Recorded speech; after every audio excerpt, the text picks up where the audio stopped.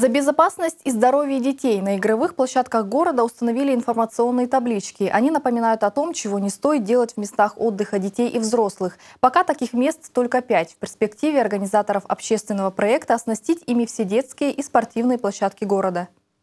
Александр живет в центре города. С появлением в его семье ребенка необходимость гулять на свежем воздухе стала каждодневной. Мест для прогулок в городе не так много. И детская площадка на Октябрьской 9 – подходящее место недалеко от дома. Правда, зачастую компанию родителям с детьми составляют люди с совсем не детскими привычками.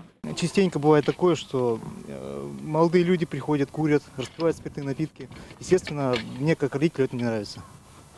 А, появление табличек информационных э, я считаю очень нужным и э, своевременным, потому что, э, во-первых, видно, какие правила существуют на площадках, какие кому обратиться в каких-то там непонятных ситуациях.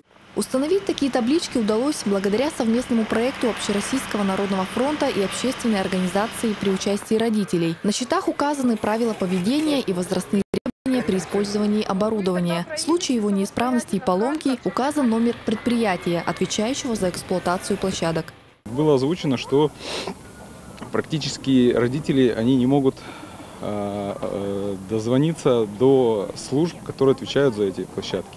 Здесь же номера телефонов медицинской помощи и службы спасения. По словам сотрудников полиции, замечания по безопасности в местах отдыха поступают каждую неделю.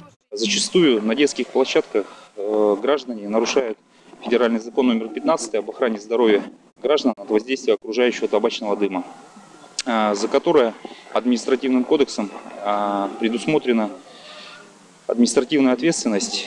Сегодня информационные таблички установлены пока на 5 из 44 площадок. В будущем они появятся и на спортивных площадках. Валентина Чибичек, Вадим Носкин, телеканал «Север».